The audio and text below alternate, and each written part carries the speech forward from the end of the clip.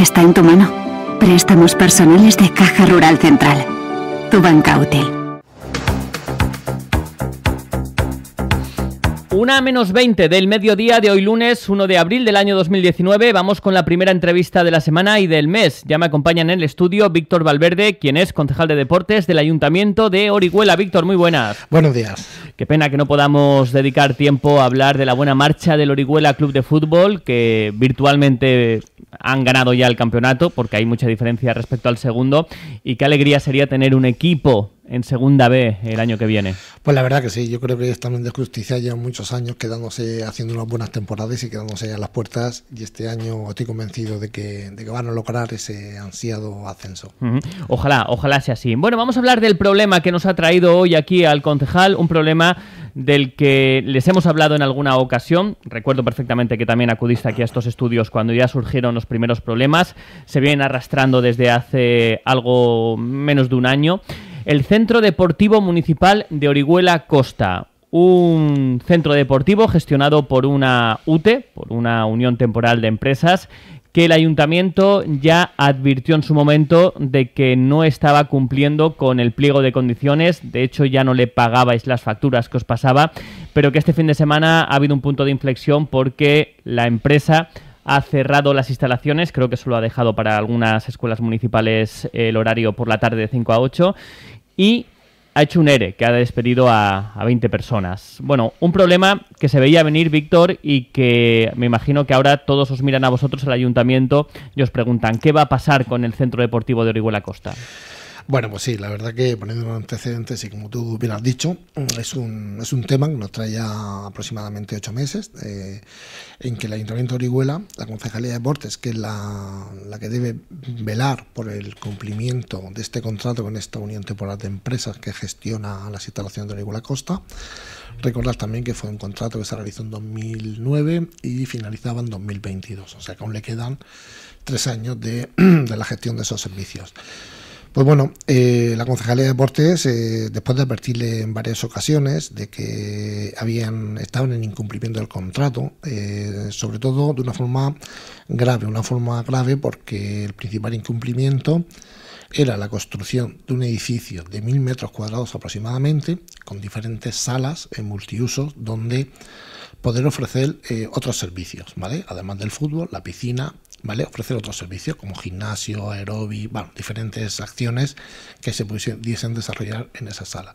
Y digo grave porque el ayuntamiento patrimonialmente ha dejado de tener ese edificio que tanta falta hace en la costa, donde las instalaciones deportivas son carentes, y después un perjuicio también eh, porque ese, esas salas iban a permitir tener otras actividades con otros ingresos, ingresos que iban a hacer que la aportación municipal mes a mes a esta UTE disminuyese, ¿vale? Con lo cual era un incumplimiento grave.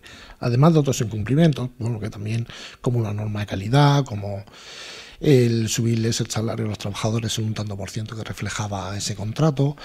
Y nada, pues nosotros tomemos la decisión de en junio, velando por los intereses de todos los ciudadanos de Iguala, como no puede ser de otra manera, de rescindir el contrato. Este contrato tuvo la mala suerte, bueno, pues que entre plazos, contestaciones, alegaciones y demás nos, eh, nos caducó. Volvimos a, a, empezarlo otra vez y bueno, este ese plazo, este periodo eh, debería de ir al Consejo Jurídico Consultivo de la Comunidad Valenciana que dictaminara pues eh, una posición u otra. Inmediatamente pues, rescindir el contrato. Uh. La sorpresa ha sido que, bueno, que nos llegan de oídas porque oficialmente a este ayuntamiento no le ha llegado ninguna comunicación de la empresa, ni de un ERE, ni de que va a cerrar las instalaciones a partir de hoy. Oficialmente, formalmente, no tenemos nada por escrito. Uh -huh. Sí que es cierto que bueno, estamos en permanente contacto con los trabajadores y con los usuarios, ya que si nos preocupa algo en estos momentos es la situación de los trabajadores y los usuarios, por supuesto. Ellos nos han transmitido en diversas reuniones con las empresas le habían comunicado esto. Hasta incluso creo que, eh, por lo, menos hasta el día del sábado, en la página web de la empresa no aparecía el cierre de estas instalaciones.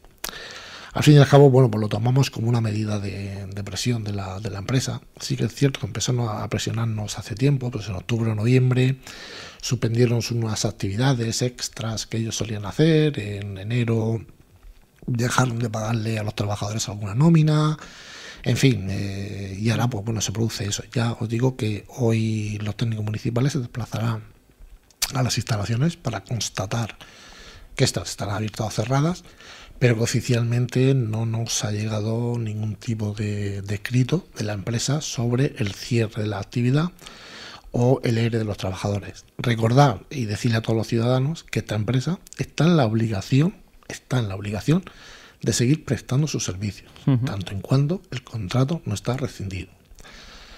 Que como han hecho, pues el pago de facturas lo han llevado a un contencioso administrativo, bueno, y un juez determinará si nosotros hemos acertado o hemos errado, ¿vale? Pero que está en la obligación de seguir prestando sus servicios. Oficialmente dice el concejal que no ha llegado nada al ayuntamiento de que esas instalaciones se vayan a cerrar. Es verdad que la noticia saltaba este fin de semana a través del diario Información, que era quien anunciaba esta decisión de, la UTE. Y claro, la pregunta es, la pregunta es esa, si finalmente esto es así, se confirma. Eh, ¿Cómo va a afectar al procedimiento que ya haya abierto para rescindir el contrato? ¿Lo aceleraría? ¿Lo pararía? Eh, ¿Habría que hacerlo de otra forma? ¿Cómo influye esto? No, el procedimiento de rescisión va a seguir, va a seguir su, su, cauce, ¿no? Y además son plazos establecidos por la Administración, pues ya digo, mandar los consejos jurídicos consultivos, que estos respondan, con la tardanza que, en solucionar estos temas de unos 40, eh, en torno a los 45 días, dos meses, y bueno, y rescindir el contrato de sí. El problema se nos viene ahora en cuanto a, la gestión, qué forma de gestión o cómo se va a realizar para que este centro, si es verdad que la empresa ha abandonado, pues permanezca cerrado lo menos, el menos tiempo posible y por supuesto pues eh, los usuarios pues tengan esos servicios que tenían eh, lo antes posible. Claro, sin duda. Eh, con la empresa creo que la comunicación es muy complicada, ¿no? Eh, creo que no hay comunicación directa. Nada, nada. Con la empresa yo, de hecho, el viernes, cuando los trabajadores me comentaron algo, que se habían reunido jueves con, con la empresa, una reunión sorpresa, por cierto, y algunos usuarios de la costa nos llegaron a decir algo, yo llamé al gerente de la empresa tres veces telefónicamente, incluso le mandé un WhatsApp y bueno, no, no fue no, no fue posible la, la, comunicación, ¿vale? Yo pues imagino, no sé qué, motivos tendrán. Supongo que, bueno, pues eh, que ellos aún tenían tres, como he dicho anteriormente, tres años de, contrato.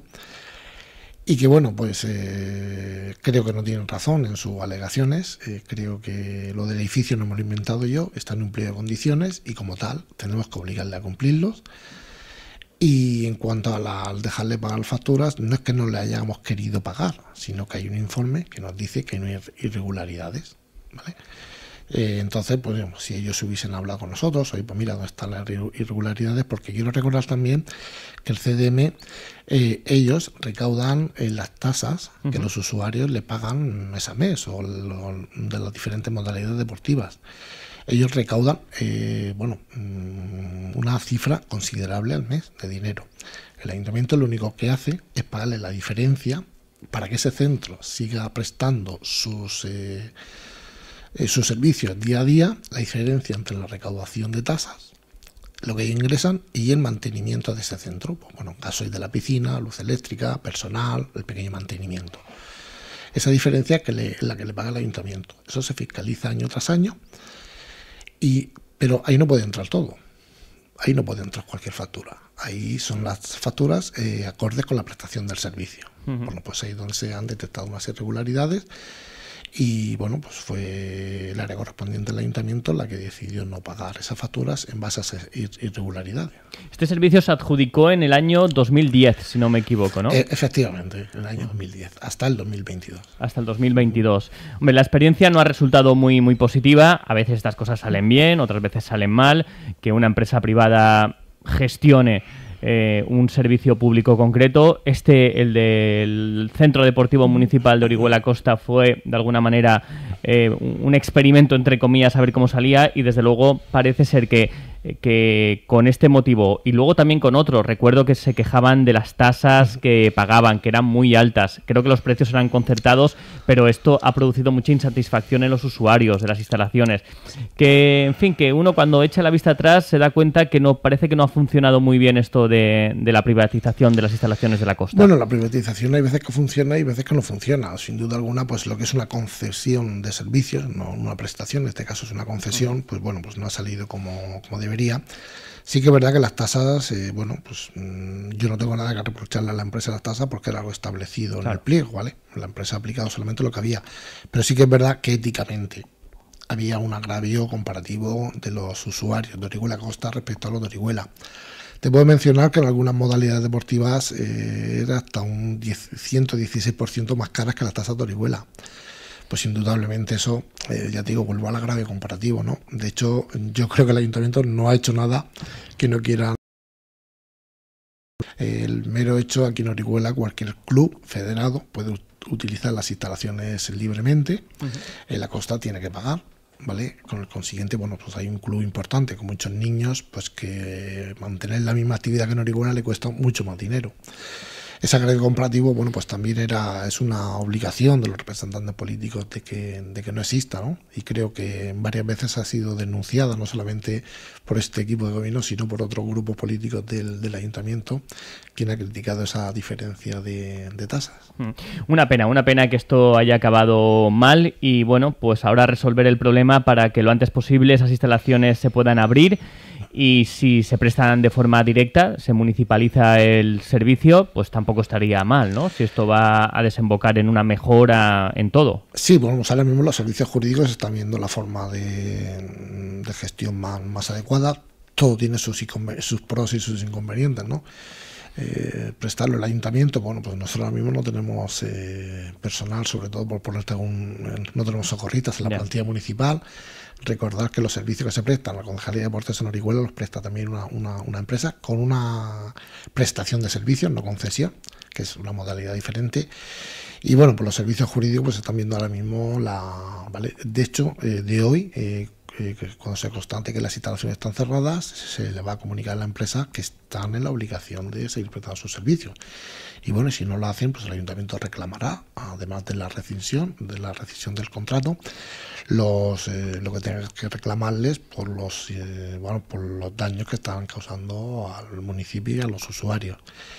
Y bueno, pues serán los servicios jurídicos quien dictaminen, pues eh, teniendo en cuenta también la estabilidad presupuestaria del ayuntamiento, ¿no? Hay una ley por ahí que nos impide eh, gastar el dinero libremente y, sobre todo en materia personal está muy restringido. Sabes que el ayuntamiento eh, tampoco puede convocar las bolsas de trabajo que quiera, hay una ley de estabilidad. Con, sí, que es bastante más complicado de lo que parece. Efectivamente, pero bueno, eh, lo principal es que se, que se vea lo antes posible qué modalidad y que se empiece a trabajar. De hecho, pues bueno, pues ya están todo el fin de semana los técnicos del ayuntamiento, trabajando en el tema. Víctor Valverde, que gracias por haber venido aquí a los estudios de Radio Orihuela a explicarnos cómo está la situación, que nos ha preocupado a todos mucho, pensando en la ciudadanía de, la costa, que siempre los pobres pues eh, pagan el pato muchas veces de, los problemas que, surgen de aquí del ayuntamiento. Pues la verdad que sí, yo, vamos, yo mi preocupación, lo he dicho anteriormente, sobre todo los trabajadores, me consta que hay padres de familia que necesitan de este trabajo para, para mantener a sus familias y pues eso... Eh, pues le duele, a cualquier persona le duele, ¿no? Sobre todo, bueno, pues los usuarios también te duele. Pero bueno, sobre todo muy preocupado por el tema de en que, pueda quedar, pues, en que puedan quedar la, la situación de los trabajadores ahora mismo y en esos usuarios, pues que necesitan, hay algunos que necesitan hacer la práctica deportiva por, por, prescripción médica también y, el que va libremente, bueno, cualquier usuario pues también es una preocupación para nosotros. Sin duda. Qué poco queda ya, ¿eh? Para las elecciones, Víctor. Bueno, sí, esto y además eh, parece que pasa el tiempo a marchas eh, forzar, ¿no? Parece que cuando tienes ahí una meta... Entre Semana Santa, elecciones, las autonómicas y generales y después las locales y, y las europeas, nos quedan dos meses y medio por delante frenéticos. frenéticos. Dos meses y medio, dos meses. No, porque yo lo llevo hasta mitad de ah, junio, ya que hasta que no se constituyan los ayuntamientos, eh, a no ser que un partido saque mayoría absoluta, por ejemplo, aquí en Orihuela, y ya se acaba el partido. Me parece que es el 15 de junio cuando marca la ley que debe de constituirse los ayuntamientos. Bueno, en ese caso son dos meses, dos meses y medio que bueno, yo creo que van a estar cargados de, de mucha Emoción. De mucho ambiente político y emoción. Víctor Valverde, concejal de deportes del Ayuntamiento de Orihuela, seguiremos pendientes de este asunto, de si se abren las puertas o no del Centro Deportivo Municipal de Orihuela Costa y cuál va a ser el futuro de estas instalaciones. Víctor, gracias. Gracias a vosotros.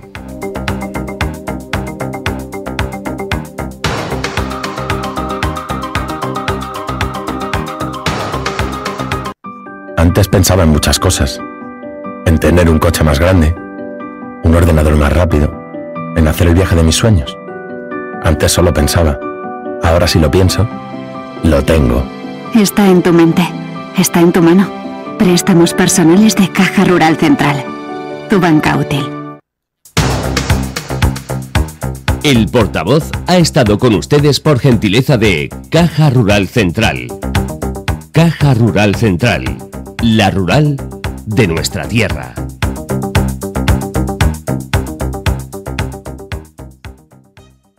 En el primer análisis científico sobre el vínculo entre personas y animales, un 80% afirma que su mascota es un motivo para levantarse cada mañana, porque saca lo mejor de ti, porque nunca te abandona.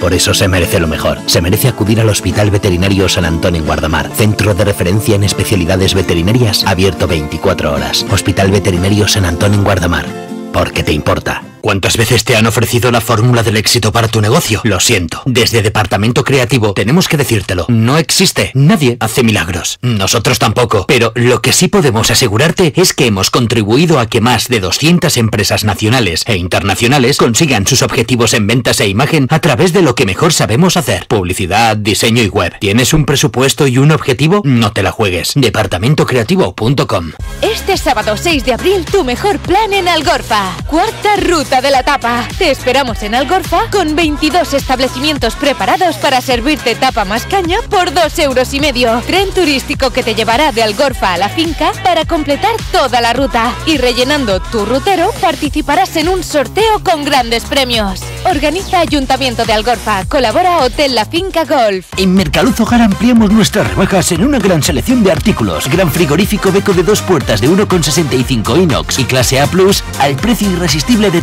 349 euros. Unidades limitadas. No dejes escapar esta gran oportunidad. Y recuerda que seguimos manteniendo hasta el 30% de descuento en nuestra sección de mobiliario, cocinas y decoración. Mercaluz Hogar, porque pensamos en ti. Carretera de Villastro, kilómetro 1, Orihuela. Muévete con Bus Sigüenza. Te llevamos directamente desde Orihuela a la Universidad de Alicante. Sí, has oído bien. Te llevamos directamente de Orihuela a la Universidad de Alicante. Descárgate gratis la app de Bus Sigüenza y benefíciate de promociones. Ahora tú eliges ir con Bus Sigüenza y paga solo cuando lo utilices.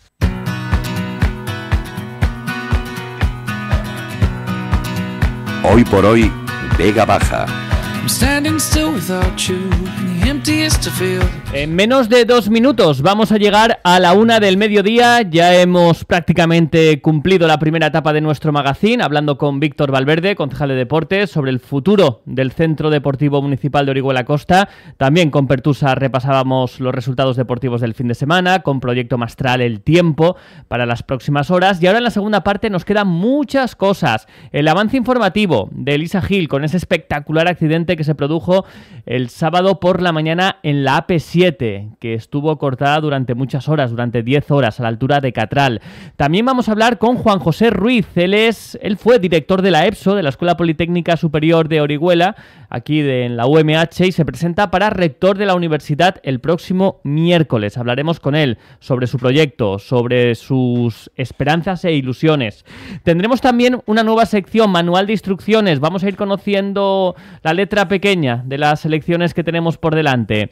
Nos iremos hasta Pilar de la Horadada para hablar con su concejal de Hacienda, José Tomás Saura. Han aprobado los presupuestos y además han dejado las arcas municipales con deuda cero.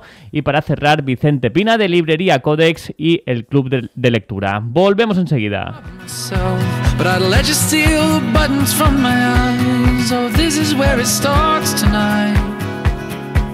If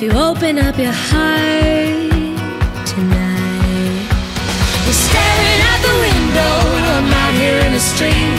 You're standing like a scarecrow and I'm begging you to speak. You used to be my solid ground, now I'm drowning in the sea. And I just wanna believe in you and me. Yeah, I just wanna believe in you and me. Es la una, mediodía en Canarias. Pablo Casado está presentando la lista del PP para las elecciones europeas que va a liderar la hasta ahora portavoz parlamentaria Dolors Montserrat. Una lista con marcado carácter catalán, ha dicho el presidente del partido, con la que, según Casado, quieren combatir las mentiras del independentismo desde Bruselas. Adrián Prado, buenas tardes. ¿Qué tal Isabel? Buenas tardes. Sí, es uno de los objetivos que persigue el PP con esta lista. A la número uno, Dolors Montserrat, anunciada a primera hora de la mañana, se unen Esteban González Pons, que repite como número dos, Antonio López Isturi, que pasa del puesto 11 en las anteriores elecciones al 3, el todavía presidente de la Comunidad de Madrid, Ángel Garrido, que se incorpora como número 4, y la exministra de Educación, Pilar de Castillo, que ocupará el quinto lugar. Casado quiere dar la batalla en las instituciones europeas al falso relato del nacionalismo, ha dicho, y a las estrategias del independentismo, como presentar a Puigdemont y Junqueras. En este sentido, el líder del PP avisa.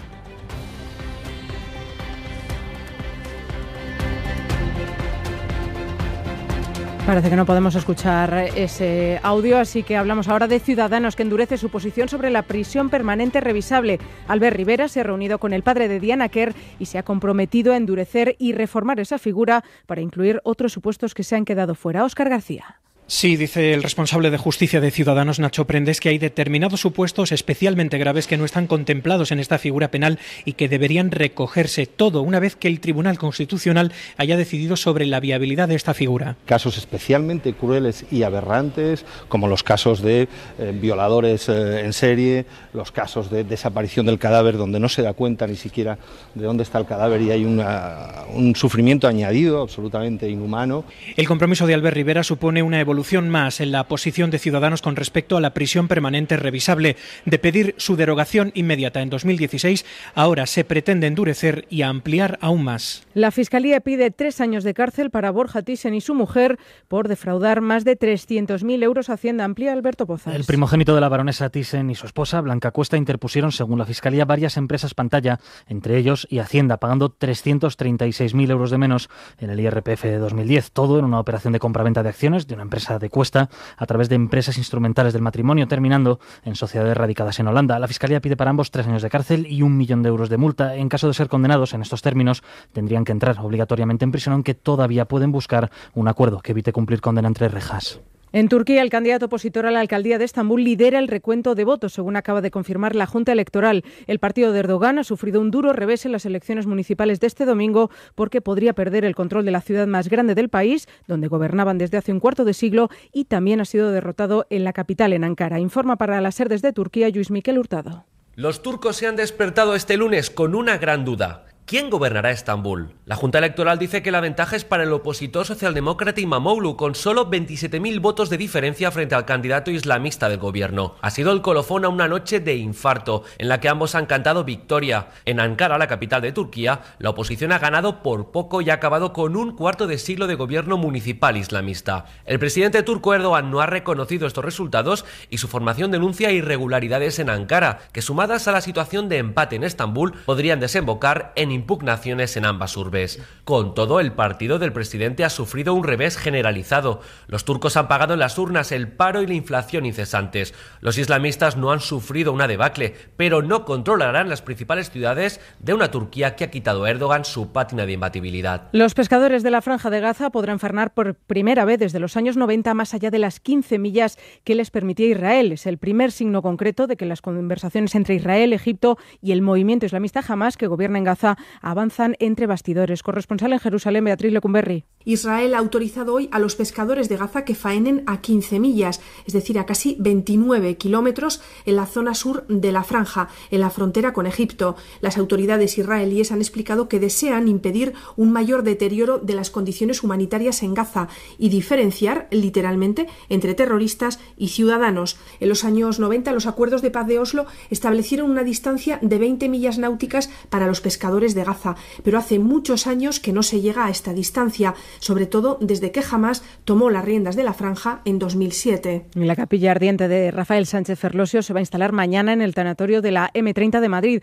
El novelista y ensayista fallecido hoy a los 91 años. El ministro de Cultura, José Guirao, ha destacado que Ferlosio revolucionó la narrativa. Es la pérdida de un personaje único dentro de la literatura española. Lamentamos enormemente su pérdida y lamentamos el, el hueco especial, particular, siempre inteligente, siempre eh, incisivo, siempre alumbrador de su literatura y de su prosa. Y con la información del deporte, Sonia Luz, buenas tardes. Hola, buenas tardes. Hoy no se celebra el habitual partido de los lunes en Primera División porque mañana comienza la jornada 30 con tres partidos, Atlético Girona, Español Getafe y Villarreal Barça. Para el miércoles, Valencia Real Madrid, Huesca Celta, Atlético Levante y Eibar Rayo Vallecano. Y para el jueves, Sevilla Alavés, Leganés Valladolid y Real Sociedad Betis. Sí tenemos un partido en Segunda División este lunes, Zaragoza Nastic desde las 9 de la noche, encuentro que cierra la jornada 32. Es todo, sigue la información actualizada en y desde las 2, la 1 en Canarias, en hora 14 con José Antonio Marcos. Cadena Ser. Servicios informativos. Tenemos que hablar. ¿Pero puedo cambiar? Sí, vamos a cambiar toda la casa. Uf. En Cocina Fácil tienen todas las novedades a un 25% de descuento. ¿Todas las novedades para el hogar a un 25% de descuento? Sí, busca la tienda más cercana en cocinafácil.es y vamos ya. Si piensas en tu hogar, piensa en Cocina Fácil. 40 aniversario de Radio Orihuela Cadena Ser. Cuenta con la Ser, pase lo que pase. Vega Fibra, nuestros enemigos intentan arrebatarnos el trono. Lo sé, pero luchamos cada día por cada cliente, cada tarifa, cada necesidad, cada hogar. Para nosotros es todo. Por los 27 municipios, juro que combatiré por mi trono, el trono de la fibra. Yo soy Vega Fibra, el rey de la fibra en la Vega Baja. ¡El rey de la fibra! ¡Sí! ¡El No sé si lo has pensado alguna vez. Si tomas un taxi para desplazarte, inviertes en comodidad, en seguridad y en tiempo. Radio Taxi Orihuela 96 674 0202. Si lo puedes imaginar, lo podemos hacer. Ingenia, impresión en cualquier formato o material, rotulación de vehículos, imagen corporativa, diseño gráfico y mucho más. Ingenia, tu imprenta de referencia en la Vega Baja. Visítanos en Avenida General Bañuls de Bigastro o en www.ingenia.ink. ¿Imaginas? Ingenia. Vital Experiences One Sport. Centro deportivo de referencia con instructores expertos y clases certificadas. One Clinic, centro de bienestar integral y salud. CrossFit, el entrenamiento más novedoso y completo para cualquier nivel deportivo. Living Room, tu espacio para celebraciones de eventos. Es Vital Experience. Calle Oriolanos Ausentes, Orihuela.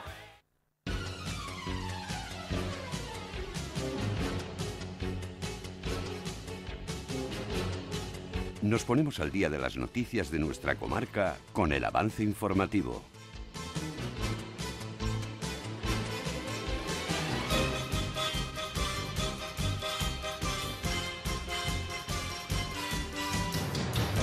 Ocho son los minutos que pasan de las 13 horas. Ya sabemos lo que está pasando en España y en el mundo. Queremos conocer las noticias de la comarca de la Vega Baja. Saludamos ya a Elisa Gil, que entra al estudio con un montón de papeles. Elisa, muy Sí, buenas. Hola, muy buenas, ¿qué tal? Bueno, pues sobre todo yo destacaba al inicio de, bueno, al inicio del programa, antes de irnos a la una, ese suceso del sábado por la mañana, Sí. una imagen espectacular, el vuelco de un camión cisterna que obligaba a cortar la AP7 a la altura de Catral, porque creo que fueron varias horas las que estuvimos pendientes de este suceso a través de Vega Baja Digital. Pues yo te lo diré 10 horas. 10 horas. 10 horas desde que ocurrió el accidente en torno a las 7 de la mañana. Bueno, pues un camión cisterna lleno de, de- de combustible, 27.000 litros, 5 tanques en total, 2 de gasolina, 3 de gasoil. Y bueno, pues es una mercancía peligrosa que eso desplegó un dispositivo que, bueno, yo creo que la gente se lo puede imaginar, de bomberos de cinco parques diferentes, de Crevillente, de San Vicente, de Orihuela, Almoradí, Torrevieja, no sé si me dejó alguno, y también Guardia Civil, el Seprona y Tráfico. ¿Por qué el Seprona? Bueno, pues porque... Se, se vertió sobre la carretera ese combustible, llegó a huertos cercanos y estaba próximo de casas. Claro. Entonces tenían bueno, pues que valorar también los daños y acordonar la zona y luego bueno, pues tomar una precaución extrema. Duró 10 horas pues porque además hubo que hacer un traspaso de combustible a otro camión cisterna de ese combustible que todavía estaban en los restantes tanques y se tuvo que cortar al tráfico también ambos sentidos sentidos, tanto Alicante como Murcia, la, la autovía se tuvo que desviar el tráfico, o sea que imagínate, 10 horas en- pasaron 50 bomberos que, que intervinieron y la verdad que imágenes espectaculares que pudimos ver. Retenciones también, porque mientras que desviaban el tráfico y la cuestión es que estuvimos muy pendientes a lo largo de la jornada del sábado. Fue, fue un accidente espectacular, la verdad. Bueno, pues ya sabemos lo que pasó ese sábado por la mañana. Y también hay que felicitar a doña María Dolores Botella Guillén como glosadora del pregón de la Semana Santa el viernes por la noche en el Teatro Circo. Eh, fue precioso el pregón, la glosa del pregón a cargo de María Dolores. Enhorabuena y enhorabuena también a, a la Junta Mayor por, por este acto. Oye, ¿qué está pasando con un nazareno, una escultura de un nazareno de bronce de 2,5 metros? Que representa esa figura tan emblemática de la Semana Santa de Orihuela, que ha regalado la Diputación de Alicante, pero que no se ha inaugurado todavía porque no se ponen de acuerdo. Pues no, no se ponen de acuerdo entre Ayuntamiento y Junta Mayor respecto a su ubicación. La propuesta de unos y otro no llega a encajar a ninguno, mientras que el Ayuntamiento propone la Plaza de la Merced, que está justo al lado del museo con dicho nombre, que es el que alberga muchos de los tronos e imágenes de la Semana Santa de Orihuela y desde donde salen a diario todas las procesiones, bueno, salvo algunos, eh, algunas hermandades y también Viernes Santo, que va al contrario, bueno, pues propone, como decimos, la Plaza de la Merced. En cambio, desde la Junta Mayor proponen la Plaza Teniente Linares, que también está muy cerquita del museo, o la Plaza del Salvador, junto a la Catedral. ¿Por qué proponen estos dos lugares? Pues porque son más transitados, más visibles. Es una figura emblemática, muy representativa, la primera que tendría y que representaría a todos los cofrades de la Semana Santa, que es internacional, declarada de interés turístico internacional.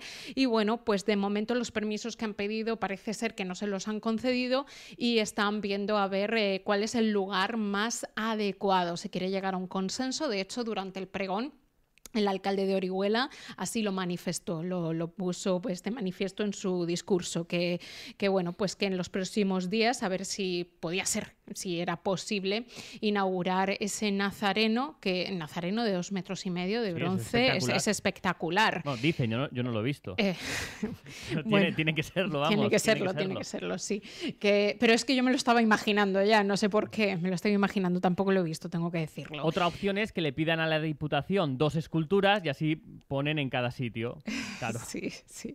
Bueno, pues está muy bien eso de las esculturas, oye, porque yo he ido a otros municipios y ¿quién nos ha hecho una foto al lado de una escultura? eh? Y se lleva esa fotografía a casa y luego va rondando por todos los sitios y, y además lo identificas con, con la ciudad en cuestión. Bueno, pues eh, la verdad que esto es lo, lo que está ocurriendo en estos momentos. Hay que recordar que ya Viernes de Dolores lo tenemos a la vuelta de la esquina y lo suyo sería pues que antes estuviera esa figura en un lugar emblemático y reconocido en la ciudad. No pudo inaugurarse el viernes, como bien dices, que, que hubiese sido el momento ideal. Exactamente, porque venía César Sánchez, eh, presidente de la Diputación, que es a la que han reconocido eh, también pues, el cargo de Nazareno de Orihuela, y además estaba el obispo, el obispo que nunca falta al pregón, con lo cual, bueno, pues eso es lo que está ocurriendo y se lo vamos a contar. Se lo vamos a contar. Pueden ver la imagen, las imágenes en la galería de imágenes de Vega Baja Digital de ese acto del pregón de la Semana Santa de Orihuela. Al Nazareno de bronce todavía no lo pueden ver porque no está. Bueno, ¿alguna cosilla más, Pues Elisa? sí, yo a partir de hoy quiero que todo el mundo esté muy atento por si en, eh, se encuentran una notificación, se la van a entregar en mano. Sí, sí, sí, sí, esto es muy importante. No asustes por a la si, gente. No, porque bueno, pues ya se están haciendo los sorteos para designar a los miembros que estarán en las respectivas mesas electorales para las elecciones generales y autonómicas, recuerden, el 28 de abril. Bueno, ayuntamientos como Orihuela y Torrevieja han celebrado ese pleno extraordinario que mediante sorteo, con un sistema informática, informático, bueno, pues salen ahí todos los que integrarán y tendrán que estar ese día pues ejerciendo tal labor. Bueno, pues mucho ánimo, si os toca mucho ánimo, hacerlo con gusto, con alegría, que eso de alguna manera es contribuir. ¿Te ha tocado a ti? A mí me ha tocado, sí. ¿En estas? Eh, no, no, no, como Ah, no, en sé, no- otras. no da tiempo. Ah, vale, vale, Me vale. han tocado en otras, sí. Ya, ya, ya. Ahora tiene que pasar a la Junta Electoral este, esta lista, este listado, y ya después se enviarán las notificaciones, pero yo creo que será en un breve periodo de tiempo. Lo dicho, hacerlo con gusto y alegría, que encima te pagan, haces amigos, pasas un día, bueno, pues como cualquier otro, bueno, como cualquier otro domingo no, No, pero no, no, es una jornada un día diferente, un día diferente, y ves desde dentro, desde las entrañas, cómo funciona esto de la democracia y de las elecciones. Tampoco hay que hacer dramas, ¿eh? Si nos tocan, por Dios, no. hay cosas peores. Por cierto, que un fiel follower de Twitter, eh, Francisco, me dice que ese nazareno lo ha hecho su tío, que se llama José Manuel Zambrana. Pues de aquí mencionar el, el nombre del autor de- del nazareno. Elisa, te escuchamos a las 2 y cuarto en tiempo de hora 14 y a las 7 no, porque a las 7 haré yo la ventana Muy este bien. lunes. Hasta luego, Elisa. Hablamos en unos minutos con el candidato a rector de la Universidad Miguel Hernández de aquí de Orihuela. Eh, un poquito de publicidad, descansamos y continuamos en Hoy por Hoy Vega Baja.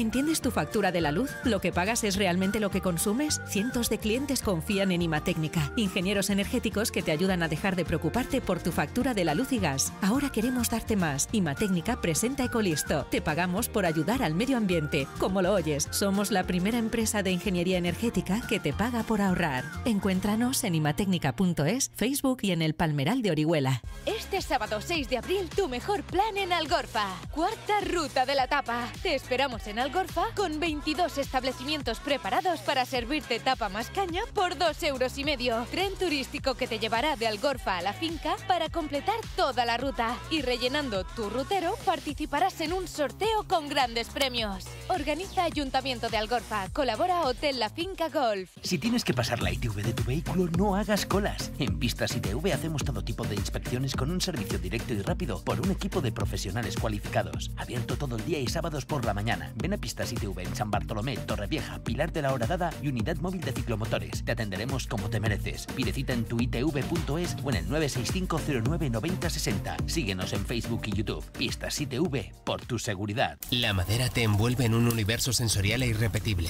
Percibir el aroma a resina, oír el crujido de los suelos, descubrir dibujos entre sus vetas. Madera es naturaleza, energía y distinción. Traspasa los límites del espacio. Sido Madera, ingeniería en madera. Más información en sidomadera.com o en redes sociales. Este jueves 4 de abril, gran apertura de tu nuevo supermercado Lidl en Torrevieja, en la carretera de Crevillente. Disfruta de toda la fruta y la verdura con un 30% de descuento durante toda una semana. Y el día de apertura consigue una bolsa reutilizable de regalo. No te lo pierdas. Buena, inteligente y al mejor precio. Es de Lidl. Suministros Industriales Callosa. Especialistas profesionales en maquinaria y motores eléctricos, rodamientos, correas y cadenas. Herramientas Bosch y Palmera. Ropa laboral, calzado de seguridad Panther, aceites y lubricantes Silver, baterías y anticongelantes para turismos y camiones. Ahora consigue tu mejor compra garantizada con la nueva línea de electrodomésticos Sumical. Carretera Catral, kilómetro 2 o en suministroscallosa.com. Hoy por hoy, Vega Baja.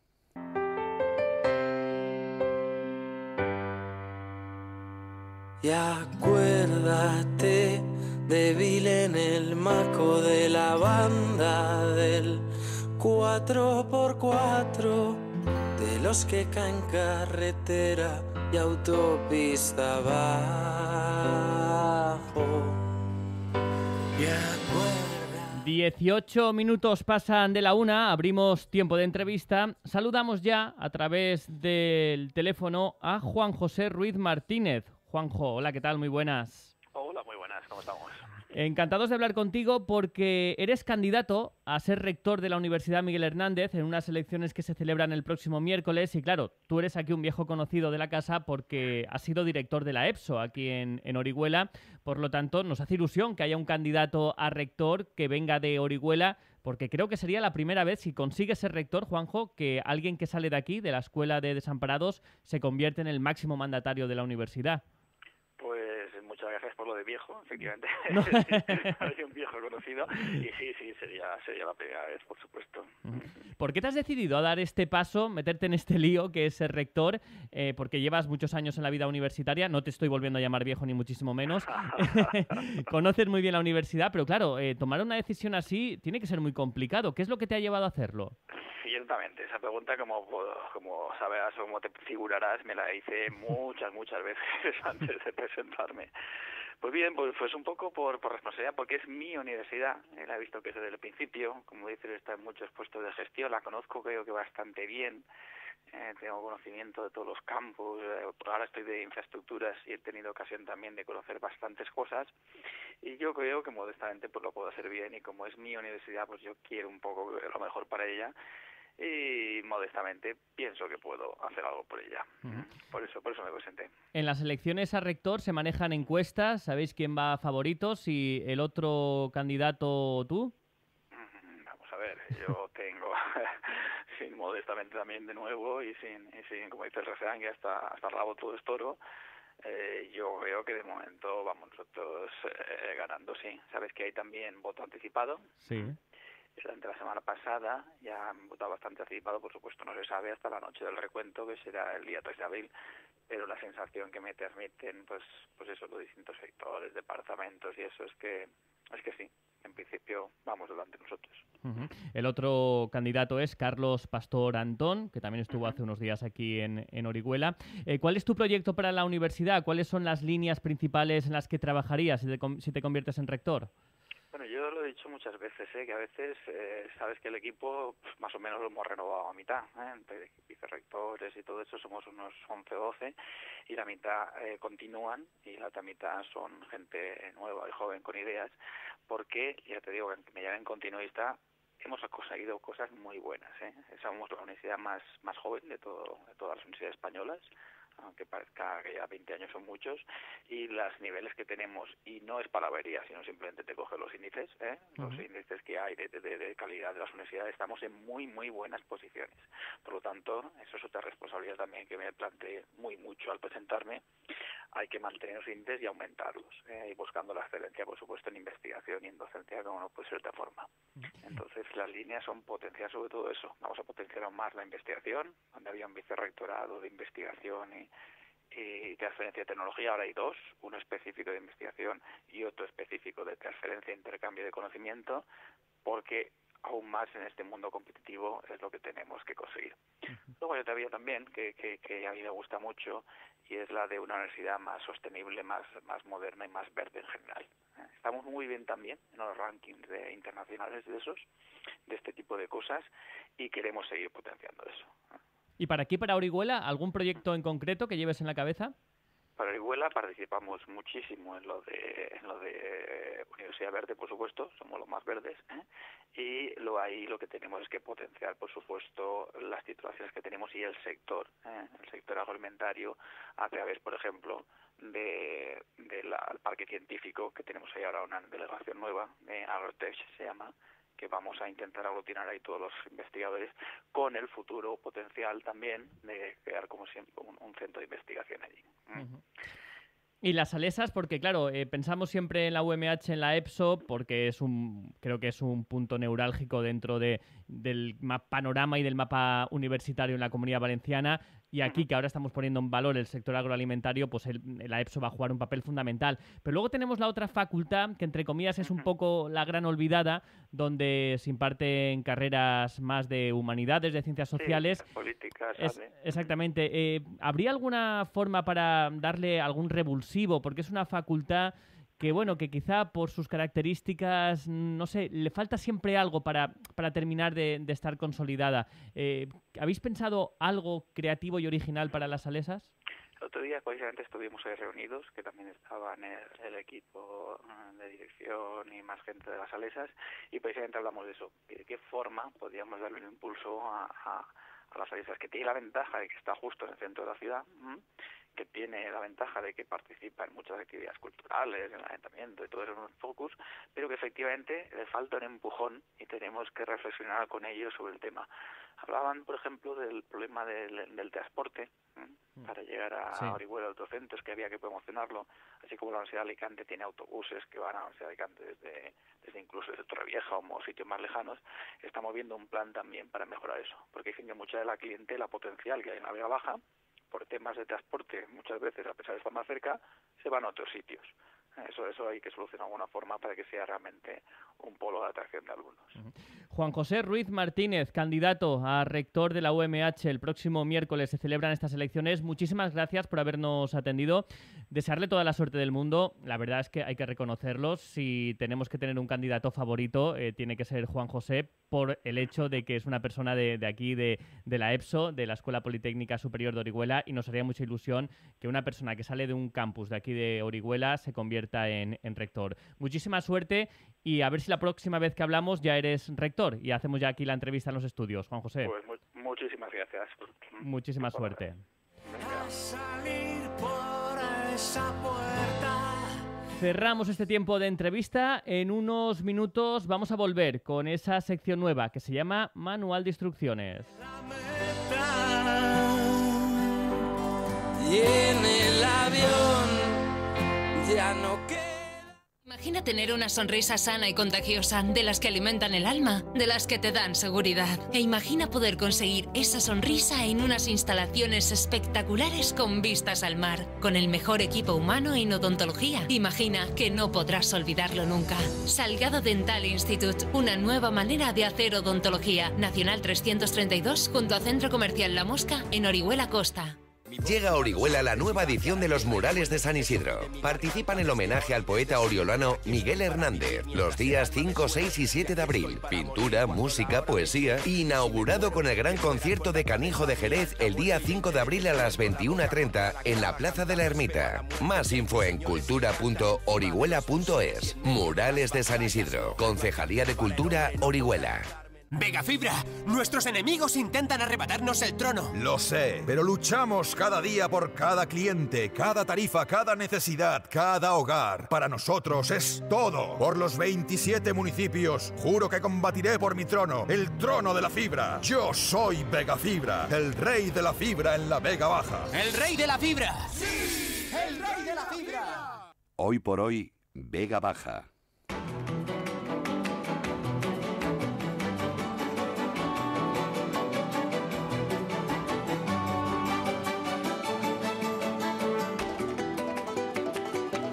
Lunes 1 de abril, primer día de un mes que nos va a llevar a unas elecciones generales y autonómicas el próximo 28 de abril. El último domingo del mes estará dedicado a ir a votar para elegir al próximo Parlamento Autonómico, las Cortes Valencianas y también para elegir a las Cortes Generales, el Congreso de los Diputados y el Senado. Vamos a dedicar unos minutos de radio durante las próximas semanas, ya no solo el mes de abril, también mayo, porque recuerden, en mayo elegiremos las corporaciones municipales de los 27 ayuntamientos de la Vega Baja, más los parlamentarios eurodiputados que se irán a Bruselas a representar a nuestro, a nuestro país. Eso será el 26 de mayo. Por lo tanto, tenemos dos meses por delante de mucha actividad electoral. Y no solo acabará en mayo, porque luego hasta mitad de junio seguiremos hablando de este asunto porque los ayuntamientos no se constituyen hasta la segunda quincena del mes de junio y como todo hace prever que en la mayoría de consistorios no se alcance una mayoría absoluta, serán semanas de negociaciones, de pactos, coaliciones, etcétera, etcétera. Por lo tanto, que tenemos por delante dos meses y medio con la Semana Santa, con el permiso de la Semana Santa, por supuesto, que estamos ya en la recta final de la cuaresma. El viernes que viene será viernes de Dolores, no este viernes, el de la semana que viene. Pero con el permiso de la Semana Santa tenemos una actividad política que está hirviendo, hirviendo. Y lo que queremos en estos minutos de radio ya no es hablar de declaraciones de políticos, de debates, de encuestas. No, no, queremos irnos a lo básico, porque a veces perdemos de vista de lo que estamos hablando en estas elecciones. Y vamos a ir por capítulos, profundizando un poco y analizando lo que vamos a ir a votar. Luego que cada uno, por supuesto, que vote al partido político que quiera, pero las cifras, las cifras generales, las Cortes Valencianas, tengan en cuenta, lo comentábamos el otro día con Rubén Dalmau, el candidato de Podemos, que aunque parezca que sí, pero no estamos votando directamente al presidente o presidenta de la Generalitat Valenciana. En las elecciones autonómicas del próximo 28 de abril vamos a elegir a los parlamentarios que formen las Cortes Valencianas. No sé si han tenido alguna vez oportunidad de, acudir a este edificio que se encuentra en pleno centro de la ciudad de Valencia. Es muy bonito. El, el, hemiciclo es relativamente moderno, tendrá unos 20 años, es ese hemiciclo forrado de, de, madera. Y merece la pena una visita, porque creo que es un edificio bastante bonito y emblemático. Bien, en ese edificio, que alberga las Cortes Valencianas, el Parlamento Autonómico, se eligen en cada elección a 99 escaños, 99 diputados divididos en tres provincias. Según población, la provincia de Valencia elige a más escaños, la provincia de Alicante en segundo lugar y en tercera posición la de Castellón, por población. 99 escaños en las últimas elecciones del 2015, porque recuerden que estas elecciones siempre se celebraban en mayo, pero el presidente del gobierno valenciano tiene la potestad de cambiar la fecha, de adelantarlas y Chimo Puig decidió que se adelantaran un mes y por lo tanto se van a celebrar con las generales. Pero en mayo de 2015, que fueron las últimas, de esos 99 escaños, el PP fue el partido que más obtuvo con 31.